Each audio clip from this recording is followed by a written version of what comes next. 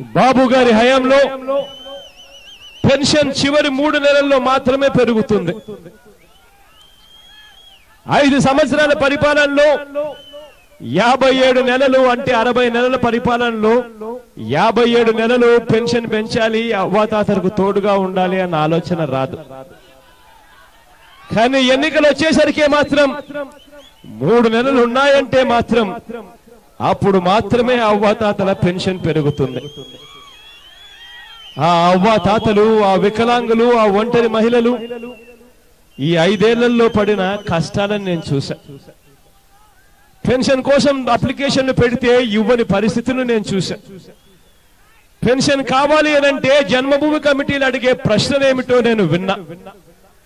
Pension కావాలి అని అంటే అడిగే మొట్టమొదటి ప్రశ్న ఏ పార్టీ వారు మీరు అని అడుగుతా ఉన్నా జన్మభూమి కమిటీల ప్రశ్నలు నేను విన్నా. పెన్షన్ మంజూరు కావాలన్నా లంచం. పెన్షన్ ఇవ్వాలన్నా లంచాలున్న పరిస్థితులను నేను చూసా ఆ ప్రతి అవ్వకు ప్రతి తాతకు నేను ఇవాళ చెప్తా ఉన్నా మీ కష్టాలు నేను విన్నా. మీ కష్టాలను నేను చూసా మీ అందరికీ నేను ఇవాళ భరోసా ఇస్తా ఉన్నా.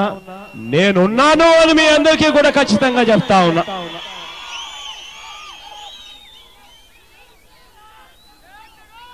నేను విన్నాను. నేను ఉన్నాను. ఆ మహానేత ఆ దివంగత నేత ఆ ప్రీతమ నాయకుడు రాజశేఖర్ రెడ్డి గారు చనిపోయిన తర్వాత కూడా ఏ రకంగా ప్రతి మనిషి హృదయంలో బతికే ఉన్నాడు. ప్రతి గుండె చప్పుడులో ఏ రకంగా బతికే ఉన్నాడు. అంతకన్నా గొప్ప పరిపాలన ఇచ్చేందుకు నేనున్నాను అని మీ అందరికీ కూడా ఖచ్చితంగా భరోసా ఇస్తూ చెప్తా ఉన్నా.